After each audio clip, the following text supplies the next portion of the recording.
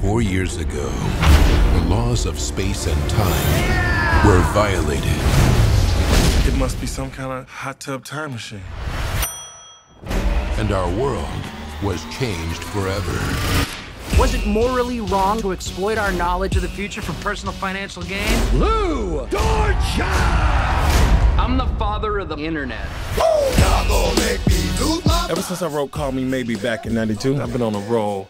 Hey, Nick, rip off any pop stars lately? Today, I recorded an original piece. You say, I only hear what I want to. Okay, it was that Lisa Loeb song. Ready for another dip? I think this time maybe I'll invent yoga pants. How far back do we go? 2025. The future Oh my god, you're Nick Webber, man. Let's take a picture. isn't what it used to be. I still like your music. I know you're falling on hard times. Hard times. Could you please do the Webber strut? The what now? Everybody, strut, strut. You're like picking dicks out of a tree. It looks like dick picking. I can't wait to see your future, Lou. We're divorced? Kelly, we're soulmates. I should have married you. At least you didn't hit rock bottom. Jesus. You look like Gandalf the Poor. You look like a minor Tyler Perry character. I kind of like this. I want to hit you into the corner pocket.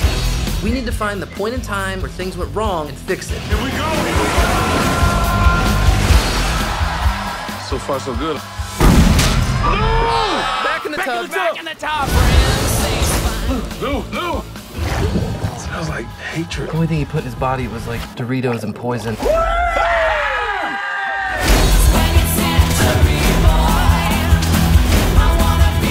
had sex with Marilyn Monroe.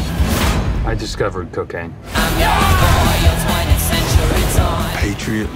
Guys gotta come with me. Why? We gotta make America happen, bro. You're not gonna be super welcome there, but we should totally go. Hot Tub Time Machine 2. I think this may be my house now. Hey, you. Boobs. Think that I'll hold you till later. Yeah. Boobs. It's a classic alternate reality situation, like Fringe. Nerd. You're a nerd. No one likes you. Point No one likes you.